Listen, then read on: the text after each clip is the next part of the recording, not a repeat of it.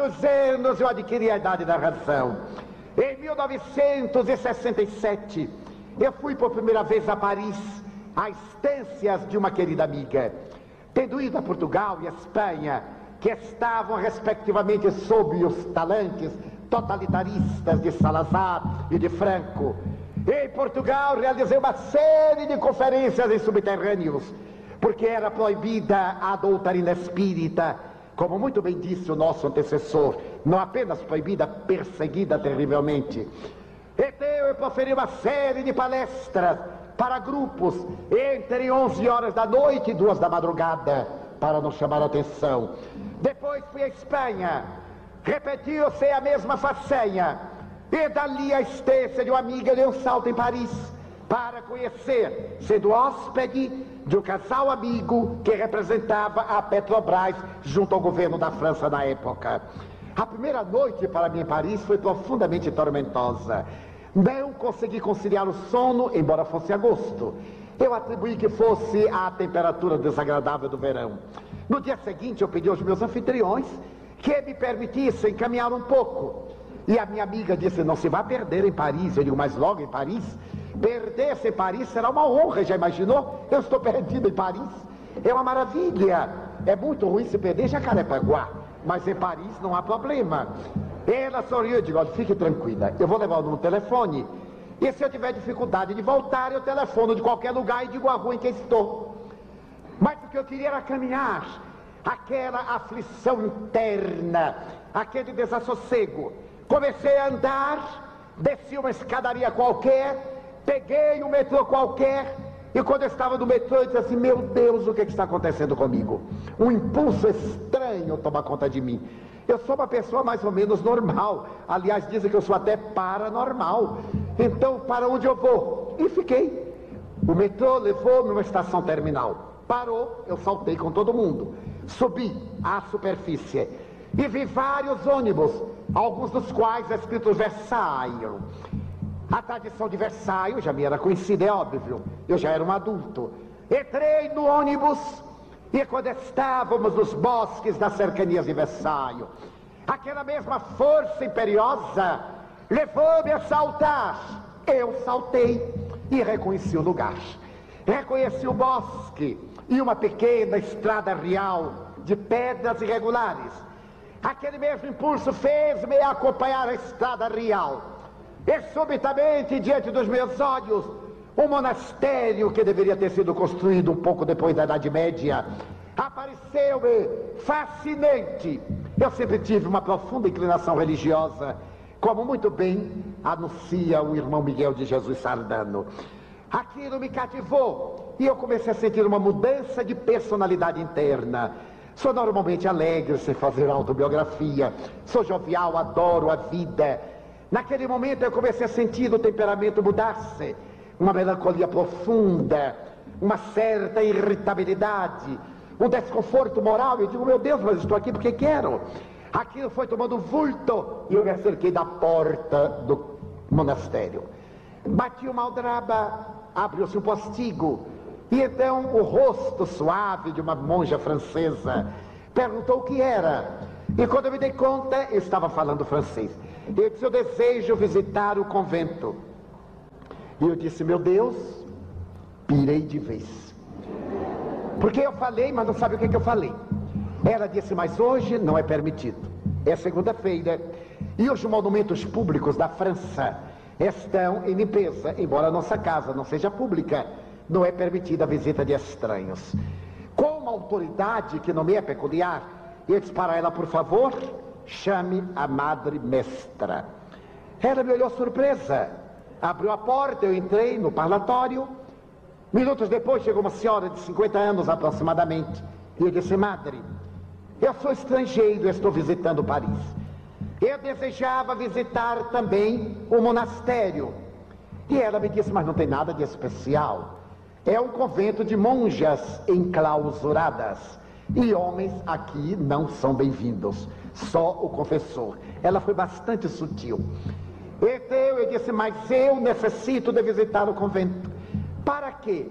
Porque eu sou o fundador da ordem. Eu digo, meu Deus, o que é que me aconteceu? Ela olhou para mim, juntou as mãos níveis e disse assim, ai, o fundador da ordem.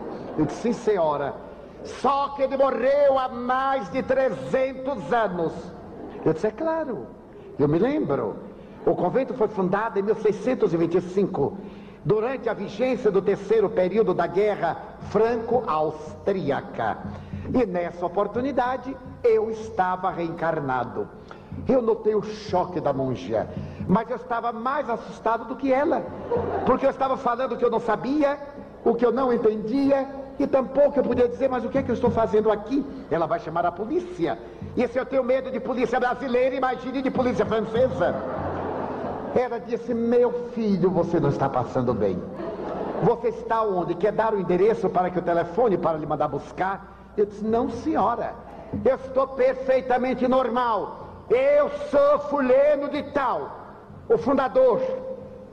Ela disse: Como o senhor sabe o nome do fundador? Leu em algum documento? Eu disse: Mas eu sou ele. Eu desejo que a senhora chame a madre abadesa. Ela ficou assustada, saiu, e daí a pouco chegou uma senhora veneranda, de 60 anos, já sorrindo, esse sorriso de quem fala, coitadinho. Deixar ter muito cuidado com ele. Sim, meu filho, seja breve. Eu disse, madre, eu desejo visitar o convento. Ela disse, mas é proibido. Porque para visitar o convento, o senhor terá que passar na clausura. E somente o nosso confessor do sexo masculino é que a pode vadiar. Ele disse, mas eu quero ver o quarto onde eu morri. Ela disse, e você é quem?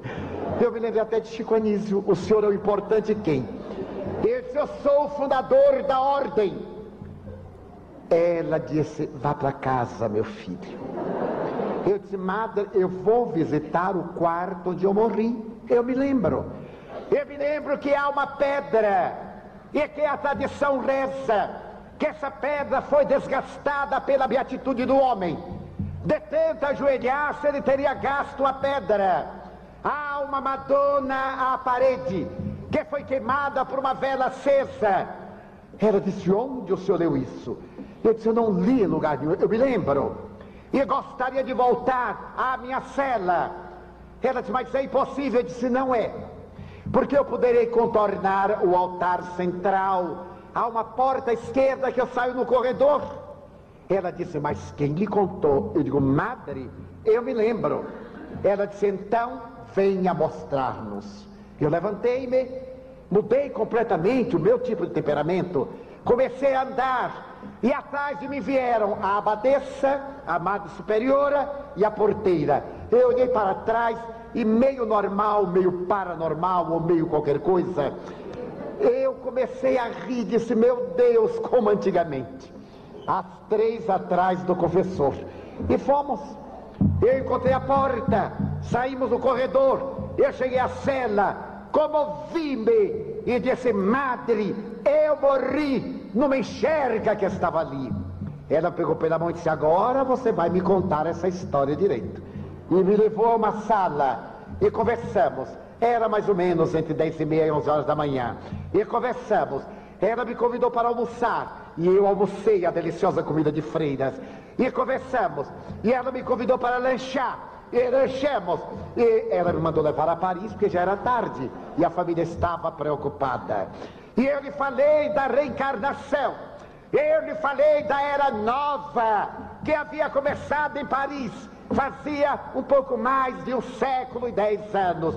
Eu lhe falei da proposta espírita, da restauração do cristianismo, da imortalidade da alma, da sua comunicabilidade, da volta. Esta não é a nossa primeira experiência carnal. Aqui estamos repetindo os nossos labores, nos quais fracassamos ontem. Ela pediu-me para voltar. Eu levei o Evangelho segundo o Espiritismo e o Livro dos Espíritos. Fiquemos amigos. Quando eu me despedi, quatro dias depois, ela me segurou as mãos e me disse: Que pena.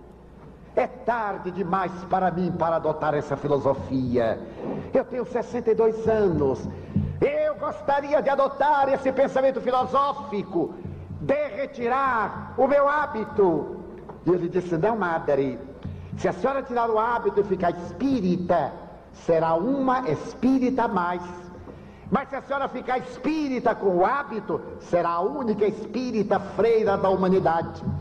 Então é mais vantagem. Fiquemos amigos, correspondemos-nos. Quando ela esteve em Bruxelas, eu a visitei, porque periodicamente as abadesas são transferidas por motivos teológicos. E acompanhei-a praticamente até a morte. E sempre quando tenho tido oportunidades, eu retorno ao monastério. Digamos que, numa expressão saudosista, até eu vim entender aquele antigo amor à França.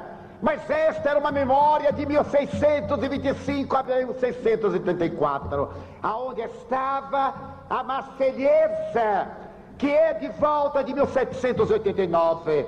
Portanto, mais de 150 anos depois, iria identificar mais tarde, ao visitar outro departamento de Paris e outro reduto histórico, e ali identificar as reminiscências que me empolgavam a alma. Entendi-me a mim mesmo, consegui mergulhar no abismo do eu profundo que Jung chama o inconsciente individual arrecar dali os arquétipos que me levaram a determinados comportamentos, principalmente abraçar Jesus, esse libertador das almas, esse herói não amado, que é naturalmente o nosso máximo e que é a razão da existência daqueles que o amam.